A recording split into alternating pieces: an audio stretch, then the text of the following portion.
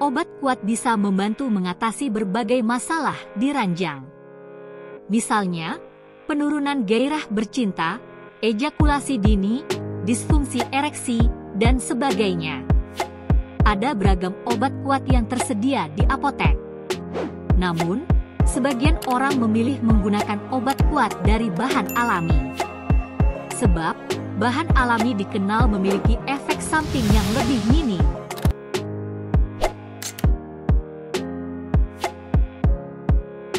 Ini, akan dibahas mengenai obat kuat tahan lama di ranjang dari bawang bombay. Bawang bombay termasuk salah satu bumbu dapur yang banyak tersedia. Rasanya yang khas bisa membuat masakan semakin menggugah selera. Ternyata, bawang bombay juga memiliki beragam manfaat untuk kesehatan. Termasuk khasiat bawang bombay sebagai obat kuat tahan lama di ranjang. Rutin mengonsumsi bawang bombay diyakini bisa membantu mengatasi masalah disfungsi ereksi pada pria. Makan bawang bombay bisa meningkatkan hormon testosteron.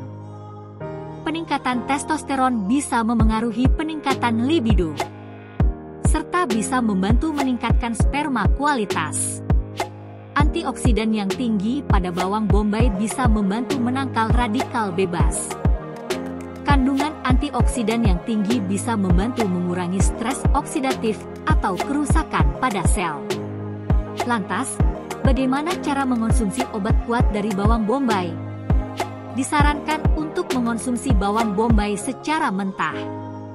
Das bisa mencampurkan irisan bawang bombay ke makanan lain, misalnya salad. Selain itu, Das bisa menumisnya sebentar asalkan jangan sampai layu.